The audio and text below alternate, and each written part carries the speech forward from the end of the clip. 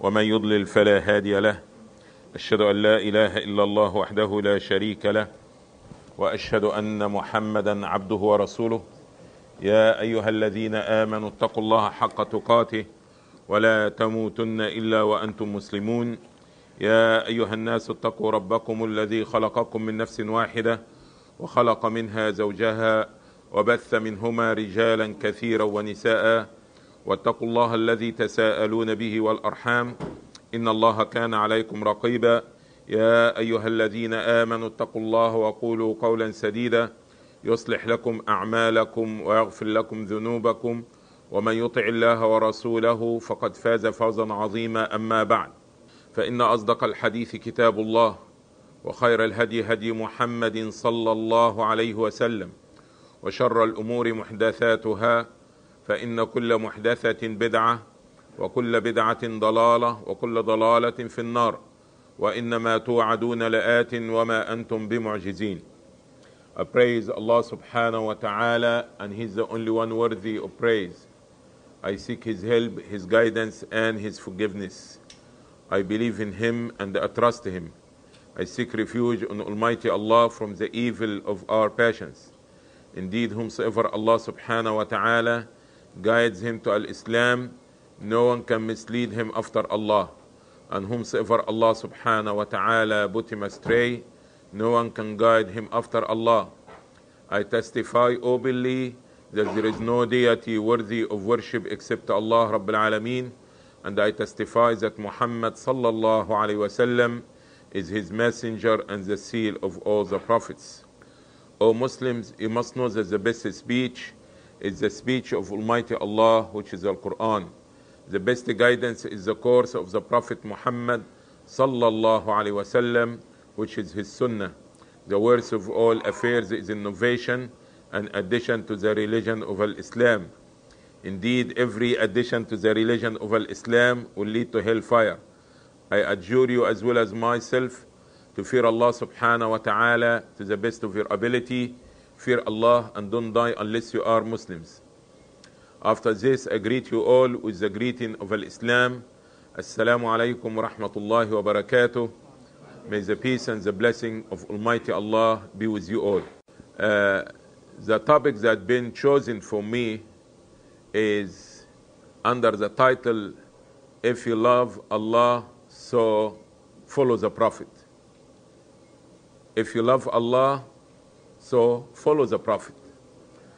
And before I get to the lecture, why do we love Allah?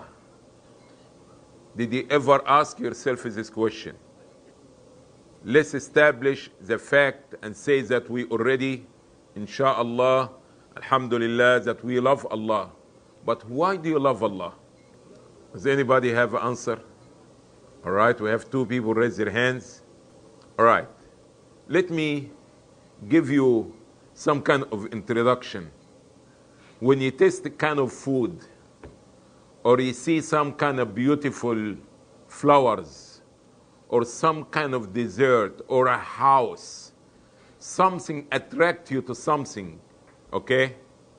Or somebody, or something, food, drink, house, a suit, a dress, whatever it is. And right away you come with this expression, oh, look to this, I love it. It has to be something in this thing or in this person or this house or whatever it is, it make you do such expression. Is this correct? Is this true? Maybe close enough? There is at least, at least two reasons that we love Allah for or we should be loving Allah for. One which is very common to be known to everybody. Alhamdulillahi Rabbil Alameen. All praise is due to Allah, the Lord, being the Rabb of all the Alameen. Allah subhanahu wa ta'ala, when somebody, when somebody or someone give you something, give you something for free, and he continued giving you something, regardless. He said thank you or not, you expecting it or not, you have a choice except to love this person. See, brothers, subhanallah, even before we come to this life, you found the favor and the blessings of Allah been bestowed to us and for us. Even before we come to this life, somebody say, What are you talking about? What kind of a favor or a blessing that Allah gave me and I was not even in existence yet? Before you come to this life, Allah subhanahu wa ta'ala, He had appointed two people to love you, to care for you, to protect you with their own life, your own parents. Before you, even you come to this life, they praying for your existence. And when you, in your way to your existence, they so happy waiting for this moment that you come to this life. And the moment that you are in this life, they're so happy. And if any little thing happened to you, they're willing to give their wealth, their life, everything for your safety. Is this true or not? And this is your parents. So before even you come to this life, Allah subhanahu wa ta'ala had bestowed his blessings upon you by making a father and mother for you to be waiting in for your arrival and to be surrounded you for every moment. All what you need, only a little cry, your mother will jump from the best of her sleep to be there for you. And this is Allah subhanahu wa ta'ala. He put this love in their hearts and makes them, they do it with love. You may later on, when you are older, you will serve them, but not with the same kind of love. Okay? They will serve you, will take care of you, and they be willing to give their own life to save your life. But when your parents get older, you get so tired of them that sometimes you're thinking in your mind, when they're going to be leaving this life so you can get rid of these problems. As a result of this, you found some, we don't want to say Muslims, but it happened, it's very bad to know even Muslims start to do this. When their parents get older, they put them in an elderly people house. And this is very bad. So what we try to say in a short word, we love Allah subhanahu wa ta'ala because the bestower, He is the al-mun'im, that He is al-mu'ti, He is the giver. He been giving you from day one and even before day one and before your existence, He been giving you for free. What return you can give to Allah when you was a baby, a child, or even after you get older? What you can do for Allah or give back to Allah? Out of Allah's mercy and because the generosity of Allah, He been giving everybody, even the kafir, He's giving him. He's still saying that Allah has a son and Allah is still feeding him and give him to drink. Can you see the blessings of Allah surrounded you? Look to the air that you breathe, all right? Which you breathe it day and night, sleeping or awake. And how much do you pay for it? Nothing. Can you imagine is this air equal to the gas for the car? Although you know that the air is more important than the gas, but we are not paying attention to it because we're getting it day and night for free. Is this correct or not? And the price keep going up and up and up. And after this, some of us could not pay for some air to breathe. What you going to have, what's going to happen to you? Subhanallah. This is not the mercy of Allah. So we love Allah, number one, okay, not actually in order, but one of the reasons that we love Allah because His generosity, because His favor that He bestow in us day and night for free, no return, no return. Can we agree about it? Can we deny the favor of Allah? Can we ignore the blessings of Allah? And Allah is saying what? وإن تعدوا نعمة الله لا تحصوها. If you try to number the favor and the blessings of Allah, no way you can count them. No way.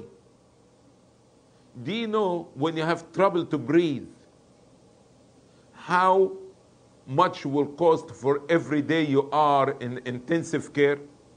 Subhanallah. We've been breathing day and night for how many years? We some of us even are not thinking about it. So one of the reasons that we love Allah and Allah deserves to be loved because the ni'am and the blessings and the favor that He's given us. But I want to get your attention to something more greater than this. You love Allah because Allah subhanahu wa ta'ala is Allah. I is the one He's qualified with all attributes, all qualities, all good and beautiful names.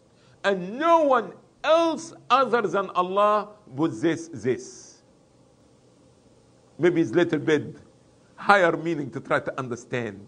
Like when you see somebody say, oh, this man is handsome, or this man is clean, or this woman is beautiful.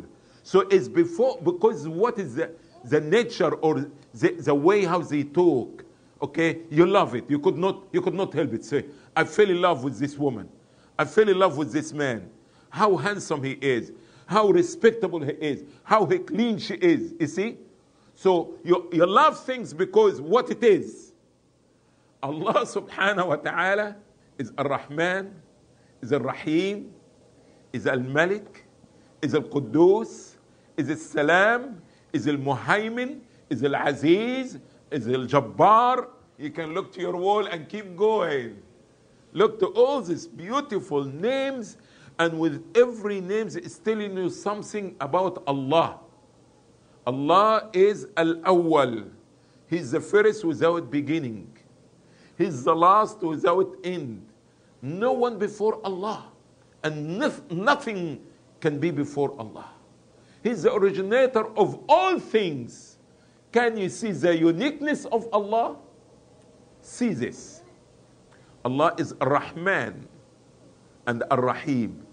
Most compassionate, most merciful. And only to take idea, only a basic idea about Allah's rahmah and Allah's mercy, Allah said He divides the mercy to a hundred parts. He divides the mercy to how many? A hundred parts. He sent in the earth only one portion. Subhanallah. Only one part. For who? For the human being? For the animal? For the jinn? For all the creation and the creature of Allah to share only one portion. Subhanallah. This is only one portion. Even the animals, a donkey, a cow, will lift and move her foot out of fear that it may hurt her baby. Even the animals have a portion of this mercy.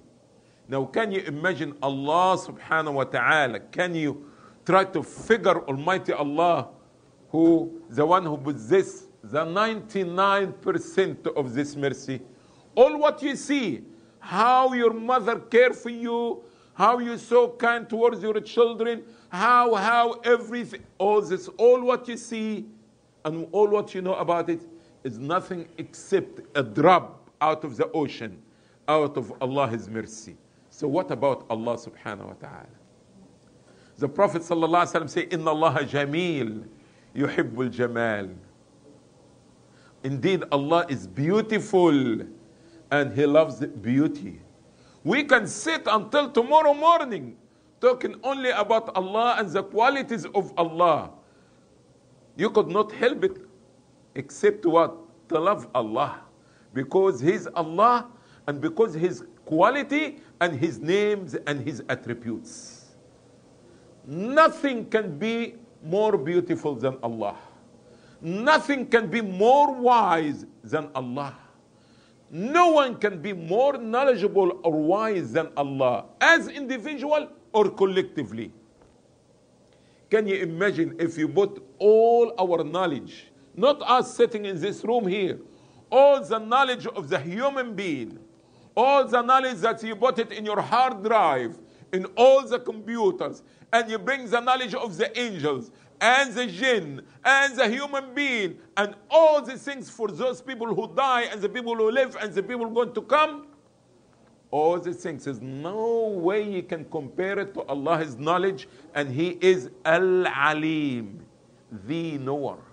He knows the best as well as the future as well as the present and all this to him is equal is not he understands the knowledge of tomorrow or let me think not with Allah.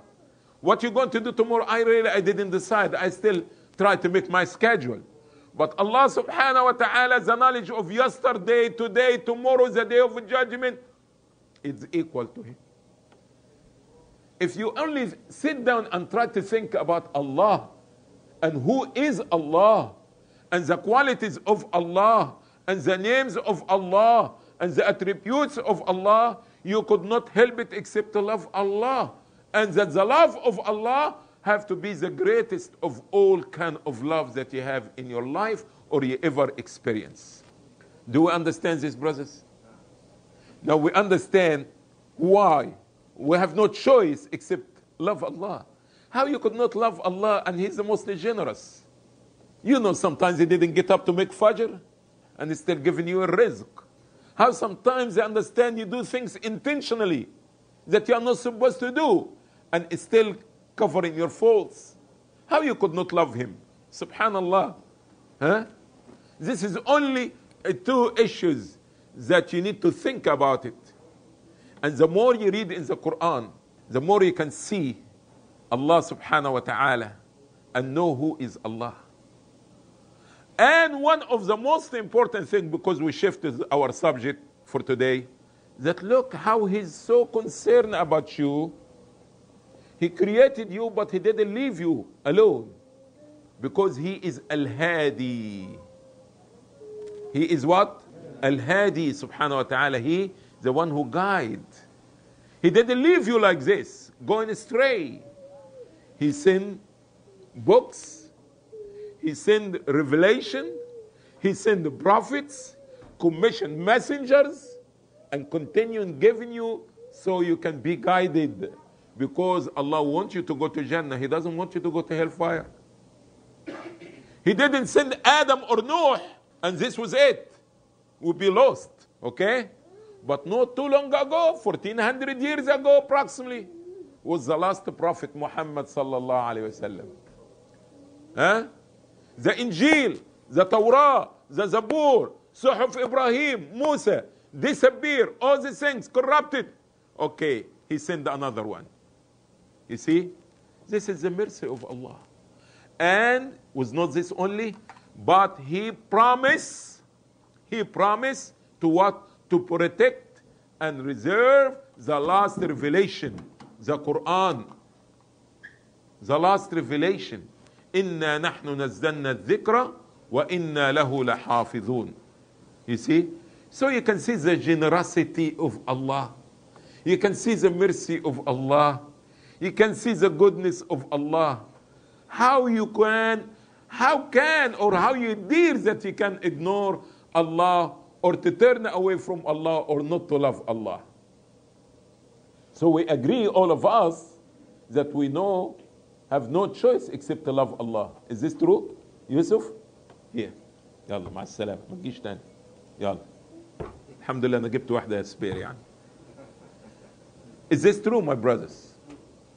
But we can sit and talk about love, but there is a fake love and there is a real love. We can say, yes, brother, I love Allah. But now Allah is telling us the real love. Is this correct or no? Especially living in a in a place like America, the word love is used very loose. To such a degree became I love New York, I love Philadelphia, I love my mom, I love I understand uh, whatever it is, anything I understand now wearing t-shirt, I love this, I love this, I love this. So became this love is so cheap. All right? And sometimes I understand some people they don't think about their mothers or their father except once a year, the Father Day, Mother Day. So they take understand this card, okay? I love you, mom, and this it. But the whole year they don't even think about their mom. So in reality, there is something called fake love and real love. Somebody act that he love, and somebody really true love. Okay?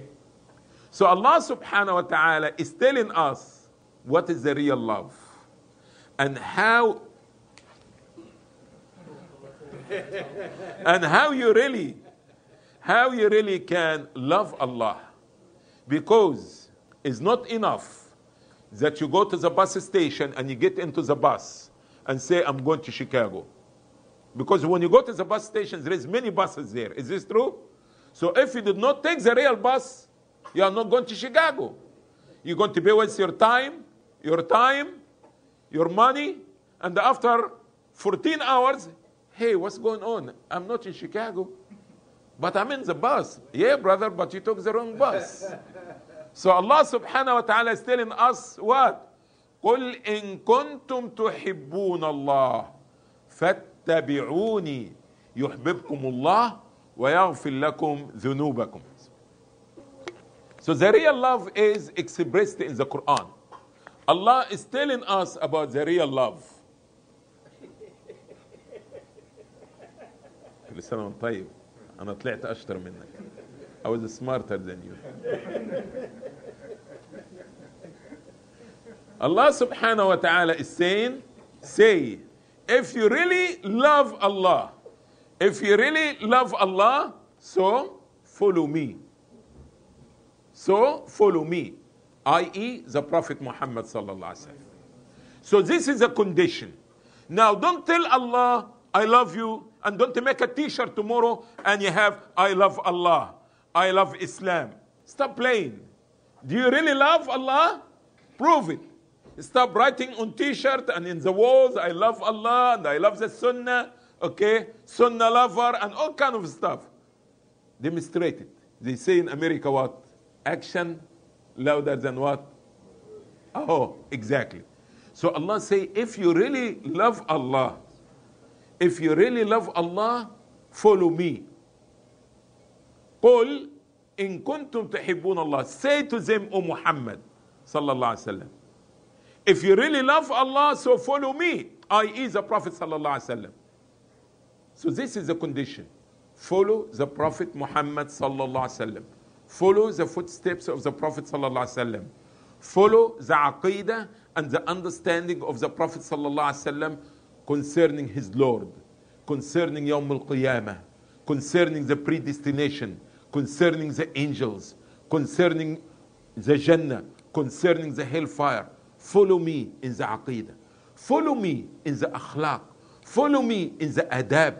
Follow me in the discipline. Follow me in my Ibadah, in my Salah, in my Hajj, in my prayer. Do everything like me. Follow me. He didn't specify to say, follow me. That means general, everything. You love Allah, follow the Prophet wasallam. Imitate the Prophet wasallam. Take the footsteps of the Prophet wasallam in everything. What is going to be the result? If you really were able to follow the Prophet sallallahu alaihi wasallam, you have two things. يحببكم الله. And this is you need little bit thinking here. Allah will love you. So we understood already in the beginning of the talk why do we love Allah? Is it? But why Allah will love us? Do we provide anything to Allah? Do you think when we're going to fast Ramadan, this will increase the, wis- uh, the, the wisdom or the kingdom of Allah? Do you think the seven heaven will be eight after we fast Ramadan? Huh? We understand that we love Allah because His ni'mah, His blessings. But what are we contributing to Allah for Allah to love us? Does Allah need us?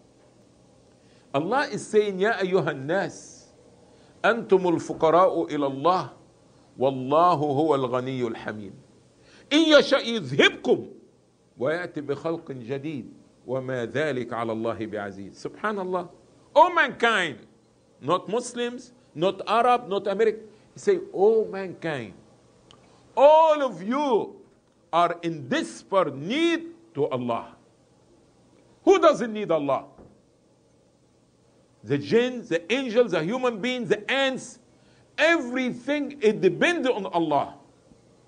Even wal ard, the heaven and the earth, everything in existence stand and perform because Allah maintain it. And if Allah subhanahu wa ta'ala stop maintain it for one second, it will collapse. Allah doesn't need us, but we need Allah. Say, oh mankind, all of you are in desperate need, in poverty for needs for Allah. And Allah subhanahu wa ta'ala is Al-Ghani Al-Hamid. He's self-sufficient. And He is the one worthy of all praise.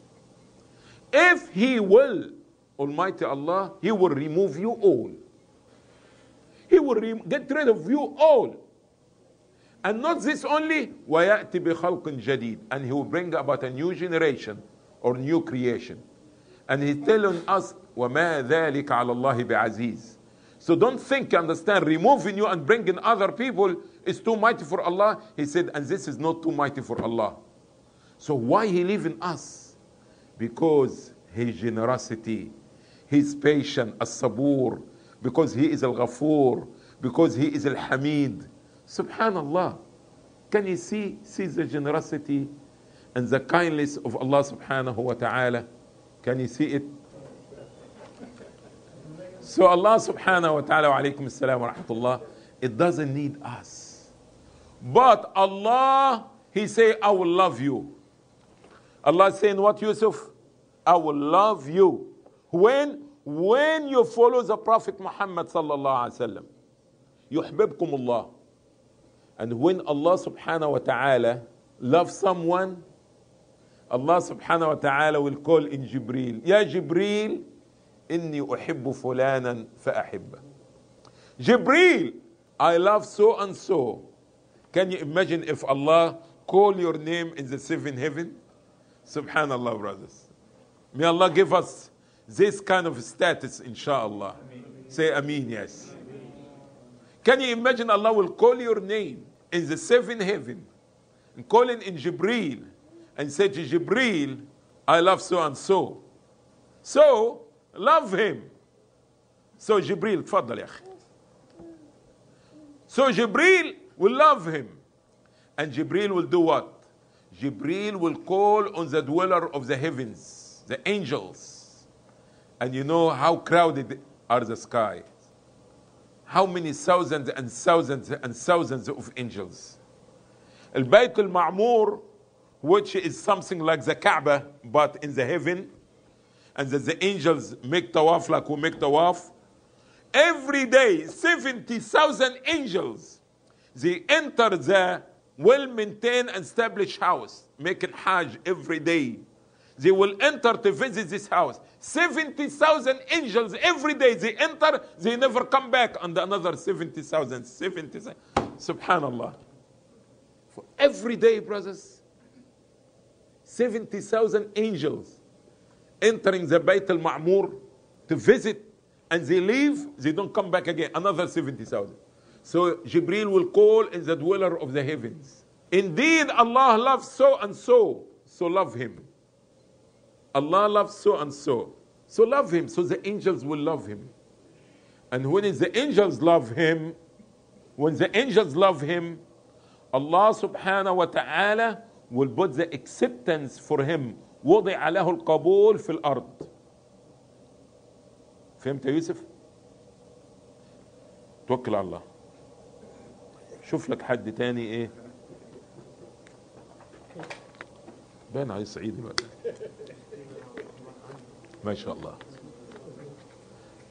الله when he love him and now Jibril loves him and the angels love him now the acceptance will be put in the earth.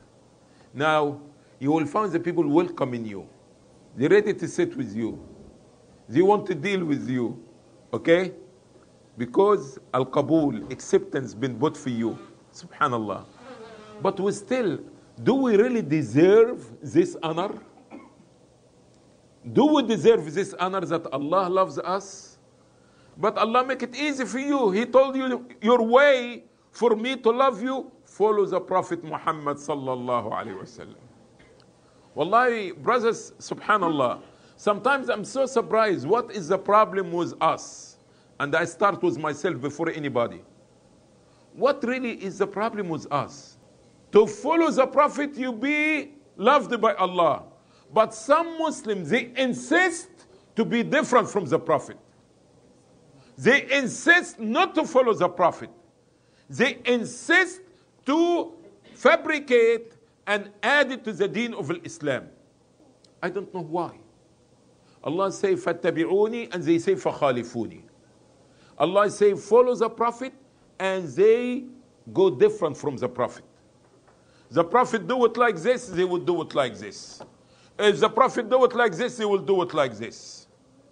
But somebody was telling me something so amazing yesterday he telling me about some place here in philadelphia.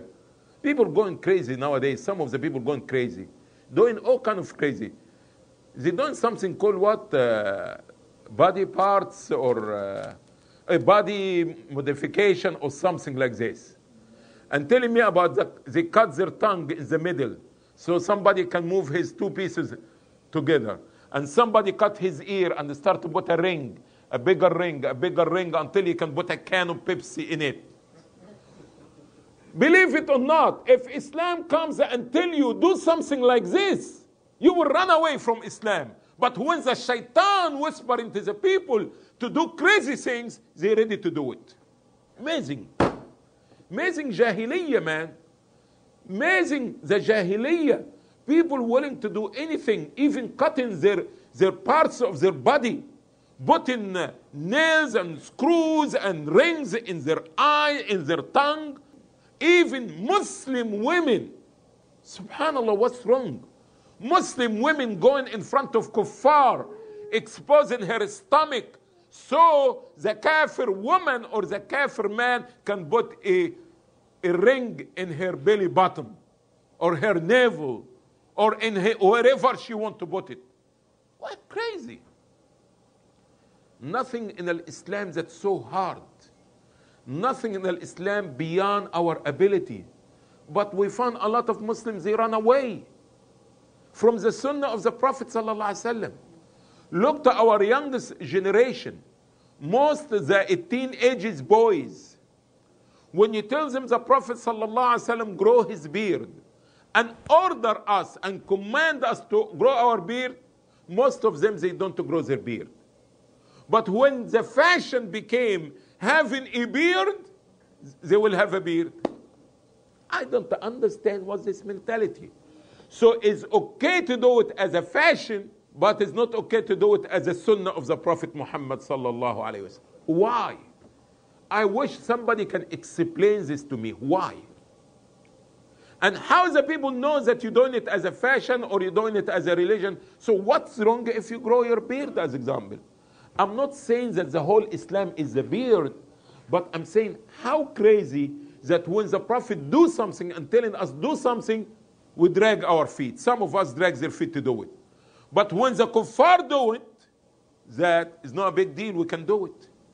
And sometimes the kuffar doing certain things under name of fashion that it causing pain and takes time to heal and we're ready to do it it's amazing how you can know that allah will love you if you follow the prophet and you keep turning away it's amazing you see amazing the second thing if you follow the prophet muhammad sallallahu alaihi wasallam that allah will forgive you allah will forgive you يحببكم الله ويغفر لكم ذنوبكم Allah will love you and forgive for you your sins who among us without a sin who are who among us without a sin the prophet Muhammad sallallahu alaihi wasallam he say إني لا أستغفر الله وأتوب إليه في اليوم أكثر من مئة مرة أو كما قال صلى الله عليه وسلم He is the prophet of Allah and he say I seek Allah's forgiveness and repent to him every day a hundred or more than a hundred times Subhanallah if the prophet doing this what about me and you Subhanallah but you will be granted forgiveness for your sins if you follow the Prophet Muhammad sallallahu alaihi wasallam. So how we can drag our feet of following the Prophet sallallahu alaihi wasallam? Again, don't misunderstand me, brothers. Following the Prophet is a full commitment. Follow the Prophet does not mean only have the siwak, grow your beard, shorten your thobe. We want to understand everything about the Prophet and how did he worship his Lord. Because it's not a matter of I put my hand like this or I put it like this. Islam is much greater than a beard and put your hand like this. Some people they focus in one side of Islam. All what they do, face veil or what they care and all the debates about the face veil is it obligatory or optional but the rest of islam some muslims they so concerned about is it zabiha or not is it halal meat or not but guess what? They don't pray. It's amazing man. It's crazy really yusuf. Can you believe this? I don't believe it myself you understand? It's so amazing. Somebody concerned about halal meat, all right, and at the same time he doesn't pray. And the Prophet ﷺ is saying that the difference between a Muslim and a kafir is abandoning the prayer. So how a person concerned about brother, is it zabiha or not? Is it halal or not? Is it kosher or not? And after this, he doesn't make salah. You abandoning the prayer you're turning yourself to a kufr wal billah. So we have to understand when Allah say fattabi'uni, follow me, follow the Prophet is a whole commitment. It start with the aqidah, believing in Allah subhanahu wa ta'ala and all the articles of belief. When the Prophet Muhammad sallallahu alaihi wasallam received the revelation of the Quran, and in the Quran at least Seven times Allah subhanahu wa ta'ala saying, Ar-Rahmanu ala al-arsh istawa. The most magnificent one, the most compassionate one, Allah.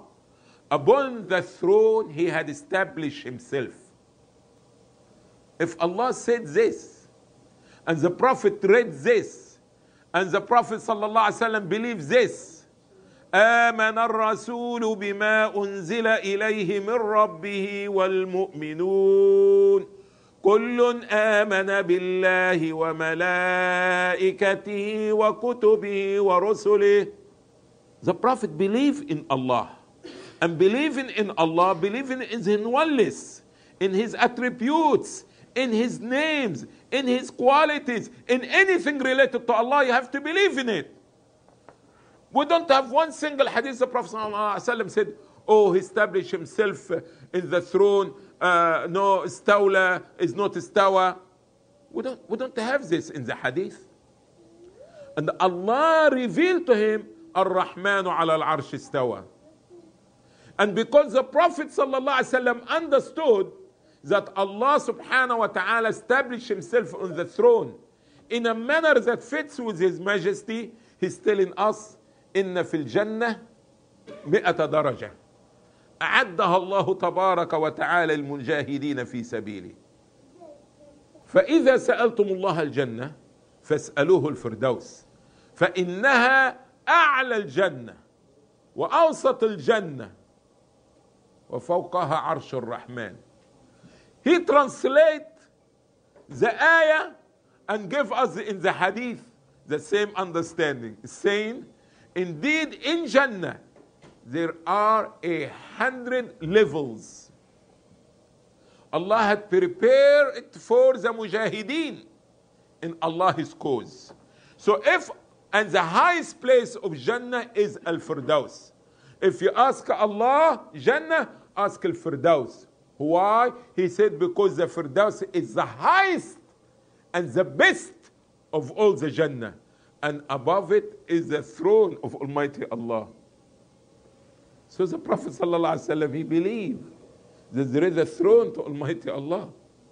How he can deny what been revealed to him? And Allah confirms this. I say, Aman al-Rasul, the, the Prophet believe. He believes in Allah and whatever related to Allah. So we are not a matter of face veil or a beard or miswak. All this good and all this part of Islam. But you need to maintain a good foundation first about your aqidah. Some people you ask them, where is Allah? Say Allah everywhere. What do you mean everywhere? The Prophet ﷺ, when he asked Al-Jariya, he said to her, Ayn Allah, where is Allah? فأشارت إلى السماء. He said, where is Allah? She pointed to the sky. Allah is above the seven heaven, upon his throne, as he established this in the Quran in seven verses. Ar-Rahmanu ala al-arsh istawa. We don't know any of the Sahaba questioned this or debated this issue and said, "Oh God, no, we, this doesn't make understand sense because, because what? You don't know. Whatever, however Allah did, Allah didn't say how, but Allah told us that He established Himself in the throne. How? Allah knows best. Allah knows best. Allah admonished Iblis, telling Iblis, How come you dear you don't prostrate to the one that I created with my own hand? خلقت بيدي. And after this said, No, no, no, brother, don't say this. Why? Allah saying in the Quran. I'm saying what's in the Quran. And after this, he found people deviating from the aqidah of the Prophet, deviating from the aqidah of the Sahaba, deviating from the aqidah of the early generation, and going to east and west, and this said, and the school of thoughts, and the Ash'ariyah, and the Jahmiyyah, and the Mu'tazila. Subhanallah. Do you think you're going to know better than the Prophet? So in matter of aqidah, we have to follow the Prophet. And in matter of salah, we have to follow the Prophet sallallahu alaihi wasallam. You know this man who came and said, Allahu Akbar, Allahu Akbar, Allahu Akbar, Allahu Akbar, Assalamu alaikum, O Prophet of Allah. Say, go back, make your salah over. He didn't pray. Wallah, brothers, listen. Do you know how many Muslims nowadays pray like this? Huh? How many Muslims pray like this? Allah, boom, boom, boom, boom, boom, boom, ping, ping, go. Salam alaikum, Prophet. Go back, make your salah over. You didn't pray. You didn't pray. Go, make it over. What you call it salah to the inspector is not salah. He's the Prophet sallallahu. He's the one who's going to give you the check, telling you this salah or not, because he's a teacher, and he classifies this not to be salah. Say, go back, make your salah over. You didn't pray. You didn't pray. This kind of prayer is not prayer. Since the Prophet ﷺ used to pray, take his time, read the verse, and think about the meaning of the verse, and you know, like eating an apple or eating, eating some grapes or nice cake like the cake outside, and oh man, it's so man, it's so delicious. Huh? The Prophet ﷺ, he has this kind of taste, sweetness of iman sweetness of salah. Say, وَجُعِلَتْ قُرَّةُ عَيْنِي فِي الصَّلَاةِ And the satisfaction of my heart, the coolness of my eyes became in the salah. When he enters the salah, in another life. Now, say Ar-Rahman Ar-Rahim. He have munajah between him and Allah. Huh? So how a Muslim pray nowadays? Most of them, their prayer, astaghfirullah. After this, the Prophet ﷺ told the man, he said, no, you make salah? Do this, you do the wudu, face the Kaaba, say Allahu Akbar, read the Fatiha. And after this, when you go to ruku', take your time. Not swinging up and down. Allahu Akbar, Allahu Allahu What's it? Ma'in. Take your time. What's the rush for? Brothers, listen. We've been rushing all our life. What did we have? What did we do with this? Keep rushing and running, rushing and running, even in Yawm al-Jum'ah. Oh, Brother Islamic Center of Colombia, yes, sir. Can I help you? UMM, Philadelphia, how can I help you? What time you make Salah, brother? What time is Jum'ah? 150. No, no, no. What time you make the Iqamah in Jum'ah? They don't want to come for the khutbah. They don't want to come for. He want to come on the sun Wednesday and say, "Qad iqamat salat." qad iqam-" Brother, the office, the job, the school, Everything we give it time. But when you come in salah, boom, boom, boom, boom, run. Is this the way the Prophet pray? The Prophet take his time. He has a private conversation session between him and Allah in salah. فَاتَّبِعُونِي Follow me. The Prophet say, صَلُّوا كَمَا رَأَيْتُمُونِي أُصَلِّي The Prophet ﷺ went in the minbar. In the minbar. And he led the Muslim Ummah in that time. He led the Salah from the minbar. And he used to come back again from the minbar and prostrate on the ground. And he go back again in the minbar so the Sahaba can see him. And after he finishes, he Salu Sallu kama ra'aytumuni usalli. Pray like he saw me praying. What's the excuse? Why you pray like this? Why most Muslims nowadays, they are not taking their time in Salah? You don't have time to zaman you don't have time for salah. What did you got out of this dunya? You still working 12 hours for the last five years okay? Whatever saving you had in the bank is gone. So what did you got? And sooner or later you're going to die. What you taking with you? Take your time. Think about how the Prophet ﷺ used to pray.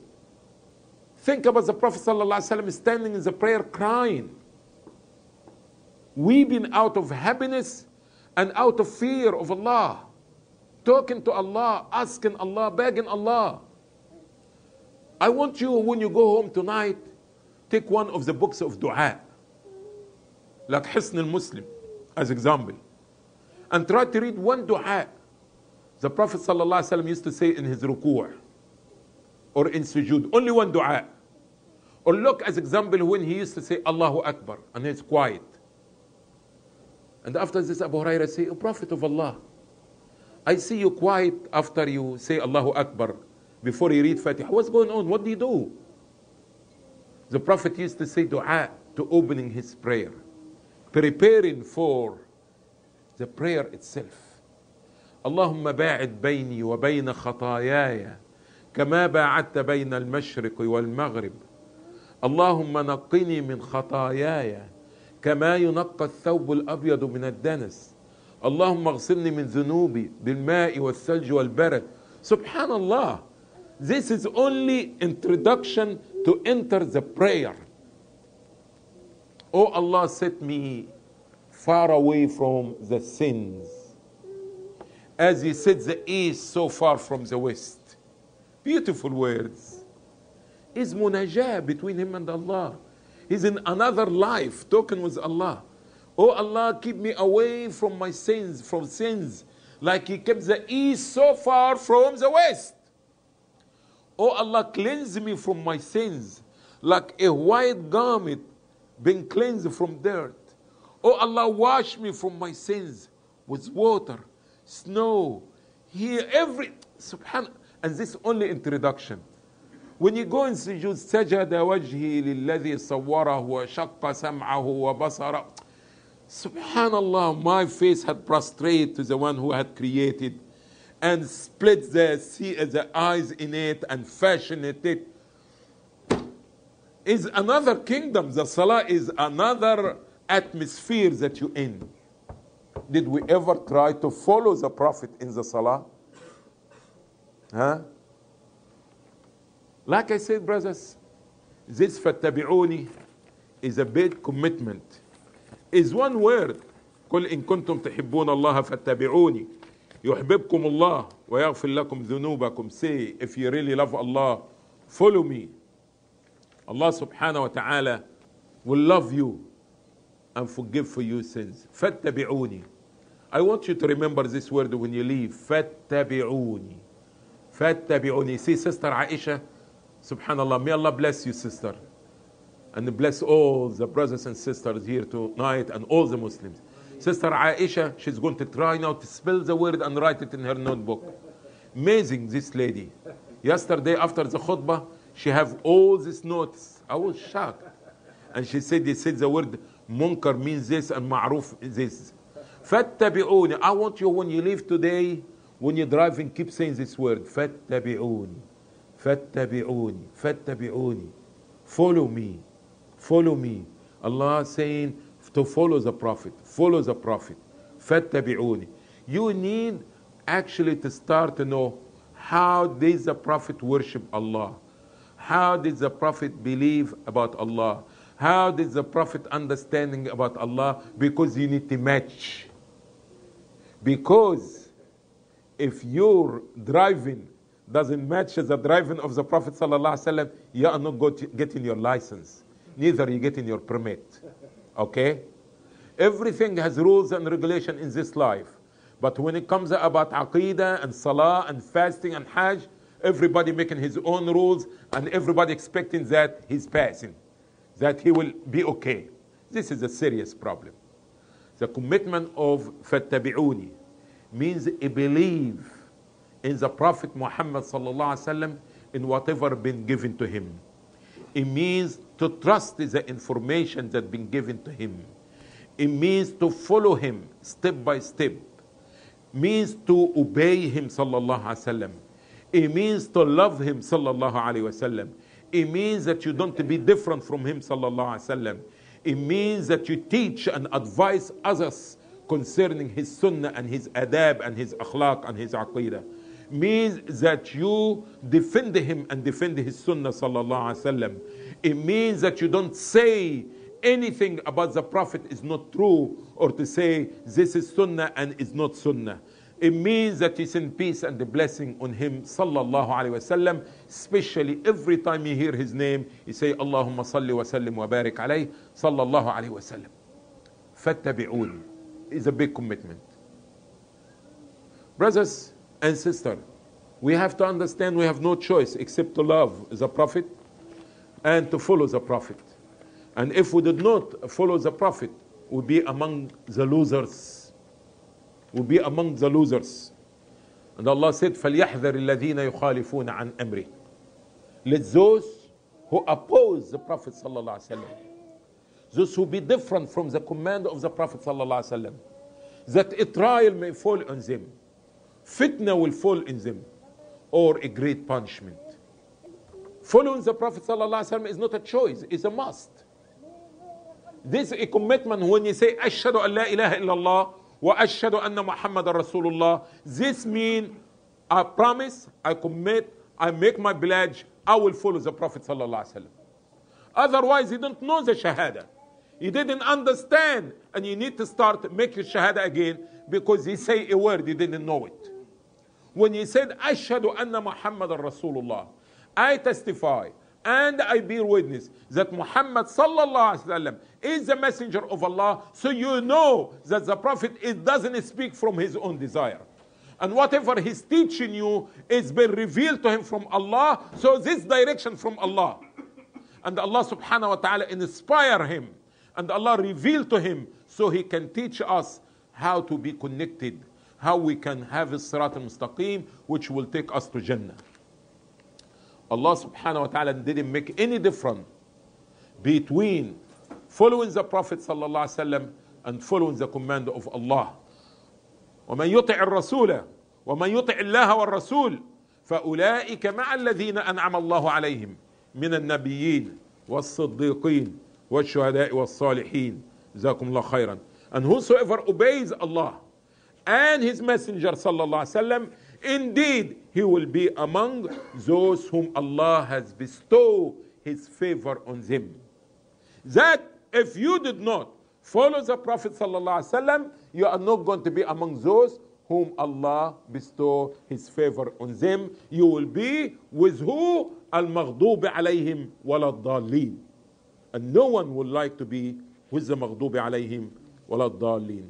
Indeed, Allah is saying in his book, in Surah An-Nisa, verse number 8, من يطع الرسول فقد أطاع الله.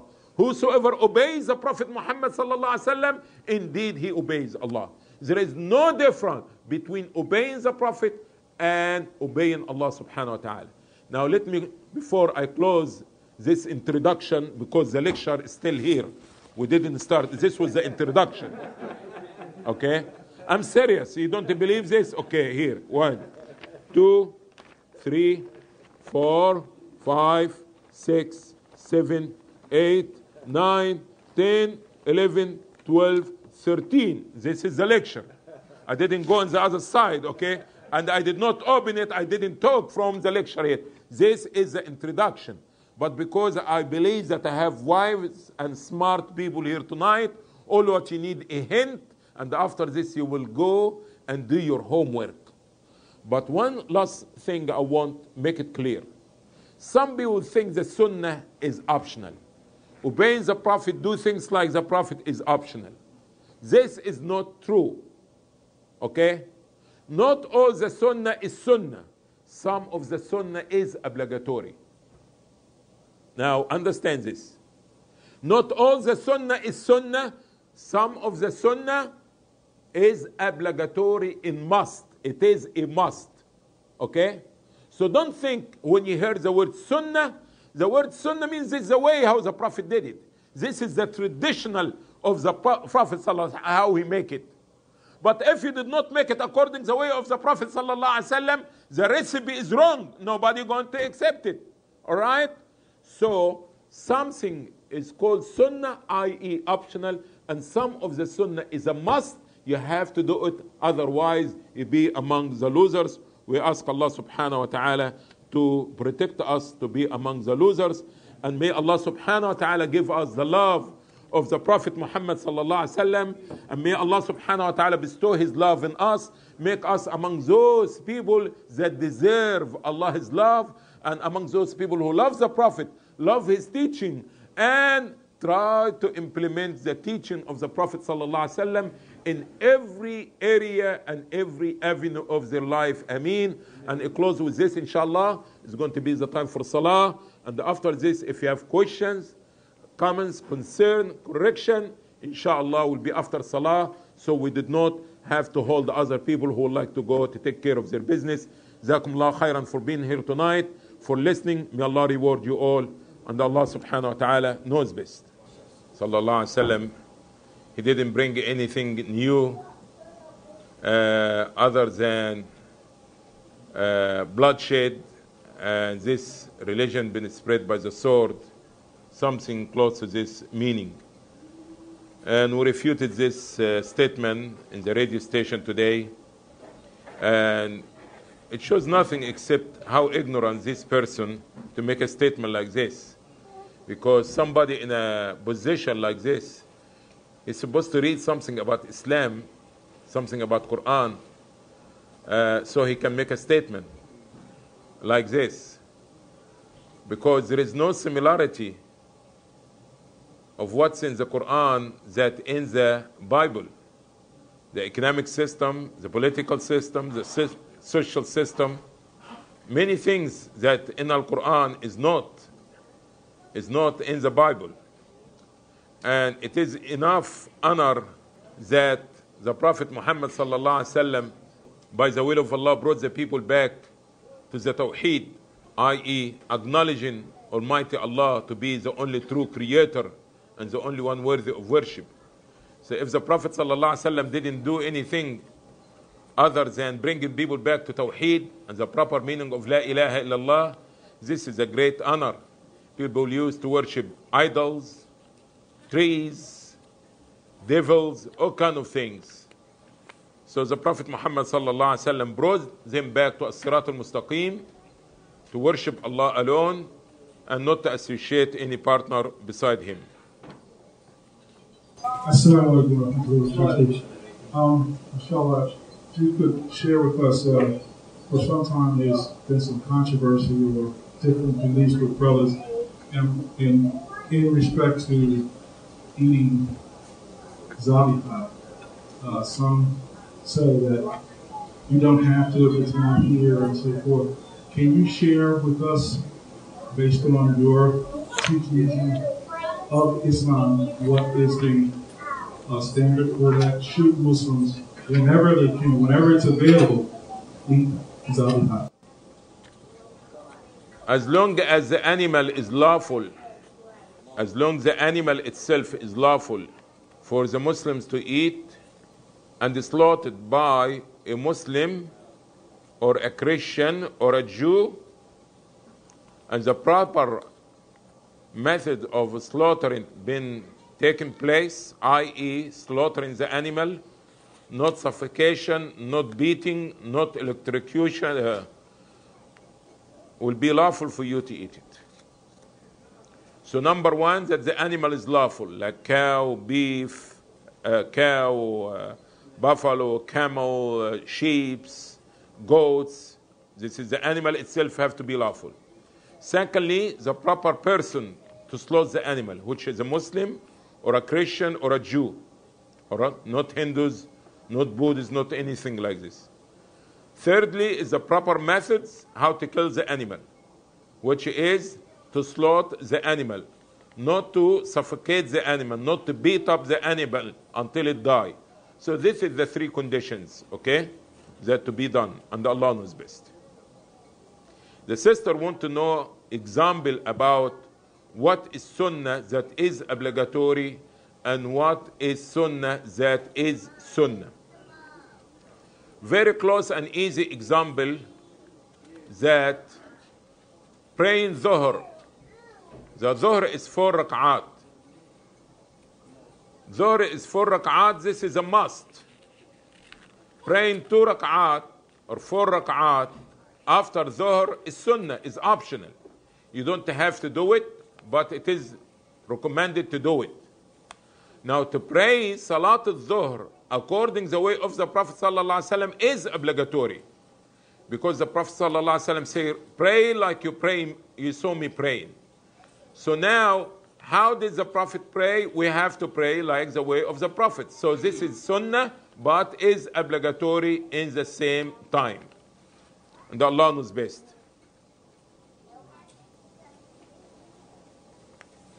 I don't, uh, Jihad, if you can see this other part of the question.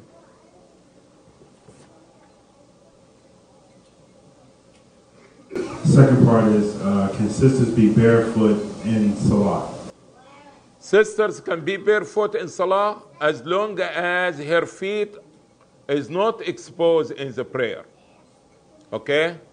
Your feet, the upper part of your feet have to be covered during the prayer. So if your overgarment is covering the upper part of your feet, it's fine.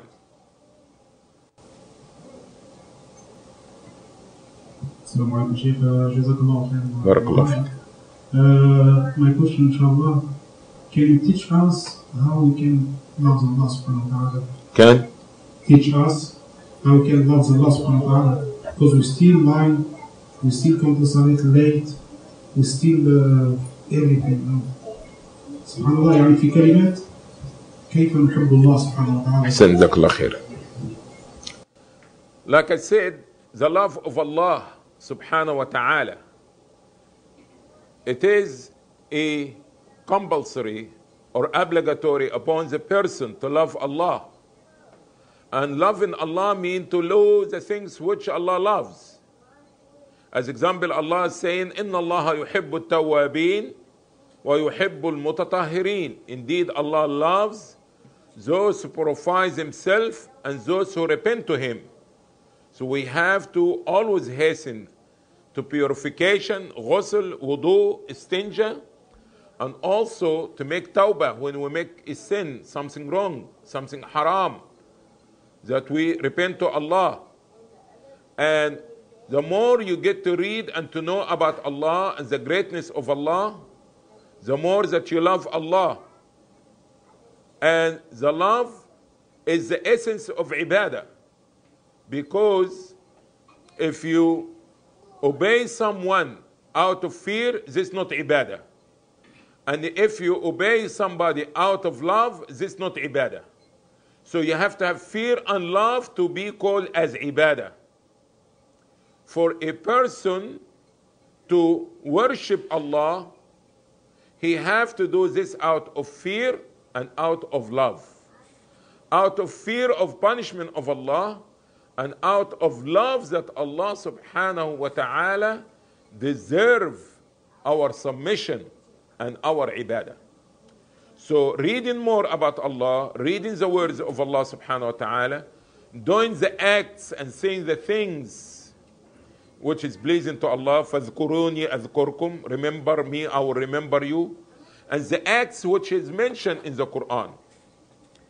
The Prophet, the Allah subhanahu wa ta'ala saying in the Hadith al-Qudsi, ما تقرب إلي عبدي بشيء أحب إلي مما افترضته عليه ولا يزال عبدي يتقرب إلي بالنوافل حتى أحبه فإذا أحببته كنت سمعه الذي يسمع به وبصره الذي يبصر به إلى آخر الحديث Nothing that a slave servant can get closer to Allah better than performing the obligation. So we have to spend time to master the prayer, the fasting, all the obligation to try to do it right. And after this, we try to get more closer to Allah by performing optional deeds. Okay, extra prayer, extra fasting, things like this. Okay? And the more that you do optional, the more Allah subhanahu wa ta'ala loves you. So this is the way to the love of Allah subhanahu wa ta'ala. And you found a lot of verses say, إن الله يحب الذين يقاتلون في سبيل صفا إن الله يحب التوابين ويحب المتطهرين. You see all these things. So you need to go and read all these verses which bring about the love of Allah to the doer of these things and do it, inshallah. جزاكم الله خير and Allah knows best. تفضل يا أخي. Can a man Khair. um, can a man wear like a chain or bracelet and it's not gold like any other? Uh, all kind of jewelry for a man is forbidden doesn't matter is made out of silver or gold or metal with exception of ring or a watch for purpose of knowing time not for decoration for a simple fact that jewelry are imitation for the wearing of the women أو أو من ينشأ في الحلية وهو في الخصام غير مبين so the jewelry is from the for women not for men all right wearing necklace wearing earring wearing you understand ankle bracelets all these things this for women and the Prophet ﷺ telling us that Allah subhanahu wa ta'ala cares a man who imitate a woman and a woman who imitate a man. So you are not supposed to wear any jewelry except a ring because the Prophet ﷺ had wear a ring and the ring of the Prophet ﷺ was made out of silver. Other than this, we did not wear any jewelry and Allah knows best. Sister, we have two seconds more. If we did not hear from you, we're going to close our gathering, inshallah, because the brothers are waiting to go outside to have this nice, uh, delicious dinner, inshallah. Tfaddal, Yes.